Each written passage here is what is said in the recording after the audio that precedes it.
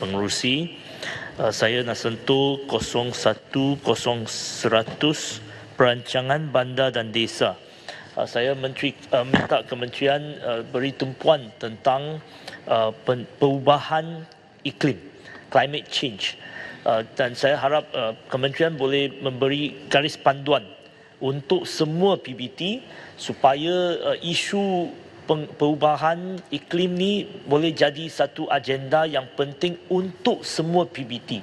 Kita boleh tengok di seluruh negara longkang sumbat uh, ada uh, apa ni uh, uh, sungai tidak dijaga dengan baik.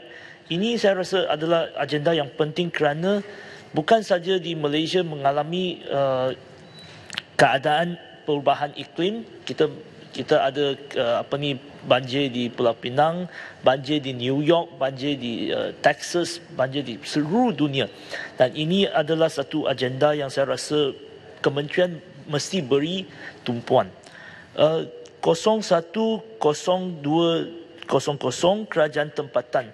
Uh, saya minta uh, kementerian memberi garis panduan ataupun uh, apa ni satu fatwa ke apa supaya memastikan semua PBT mengumum anggaran perbelanjaan anggaran anggaran bajet mesti diumum kepada semua pembayar cukai supaya mereka boleh tahu apa yang telah telah dilaksanakan oleh atau dicadang oleh PBT.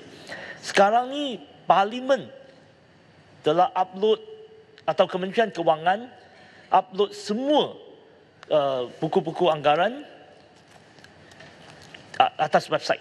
Tetapi PBT ni tidak tidak langsung tidak uh, apa ni mengumumkan anggaran belanjawan. Saya dah minta di Johor semua PBT tidak tidak bersedia untuk memberi makluman tentang anggaran perbelanjaan kepada uh, kepada orang umum.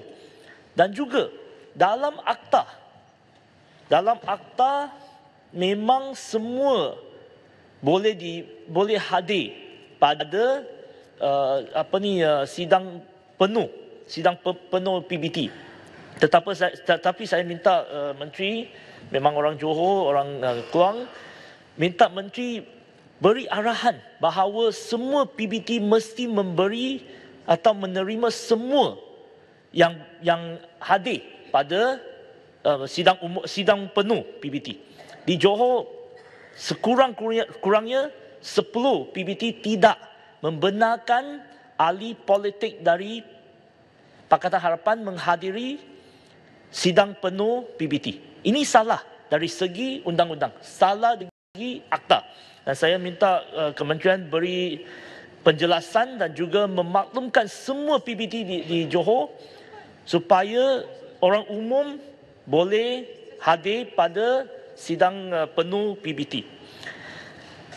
Isu uh, 0100400 Solid Waste and Public Cleansing Corporation SW uh, Corp dan juga 010500 pengurusan sisa pekerja negara.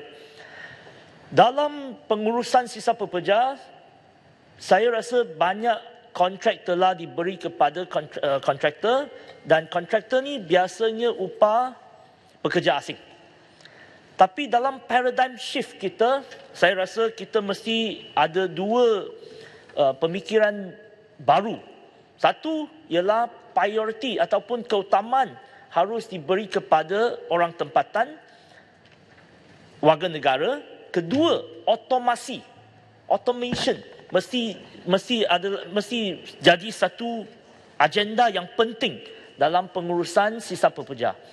Untuk jadi satu negara yang uh, lebih maju adalah otomasi adalah salah satu agenda yang penting dan dalam pengurusan sisa pekerja pengurusan uh, apa ni uh, sampah dan dan pelbagainya agenda otomasi mestilah jadi satu agenda yang penting dan saya harap kementerian boleh uh, belajar daripada pengalaman Majlis Perbandaran Seberang Pride di Pulau Pinang di mana semua kontrak kepada kontraktor telah di, tamatkan dan bawa balik dengan uh, apa ni dengan memberi peluang kerja sebanyak 2500 uh, kepada peluang kerja kepada orang tempatan warga negara dan dengan itu mereka diberi gaji yang sekurang-kurangnya 1500 dan dan dengan dengan allowance allowance lain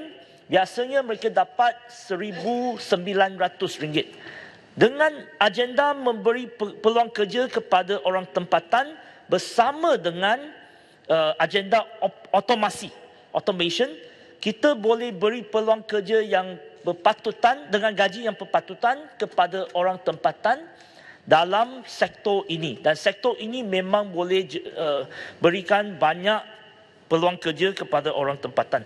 Dan kalau menteri pergi tengok di Australia, di Jepun, di di, di seluruh dunia, kalau negara maju biasanya satu truck uh, apa ni satu truck uh, sampah mungkin seorang saja, seorang yang bawa. Dia driver, dia yang op, dia operate mesin itu, dia buat semua. Dia seorang cukup. Dan kenapa kita tidak boleh belajar daripada negara-negara maju dari segi itu? Dan dengan itu orang tempatan warga negara diberikan uh, peluang pekerjaan yang yang dengan gaji yang berpatutan. 020300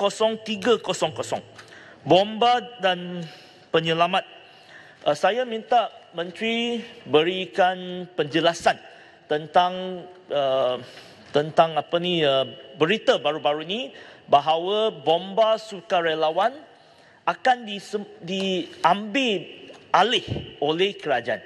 Memang di seluruh negara ada banyak tim-tim atau skuad uh, bomba sukarelawan dan mereka ni mereka ni di uh, apa ni uh, ditubuh oleh sukarelawan oleh mereka yang bersedia untuk berkhidmat uh, kepada uh, masyarakat dan ada mereka risau tentang apa yang telah dibincang dalam eh, berita-berita baru baru-baru ini bahawa kementerian nak ambil alih.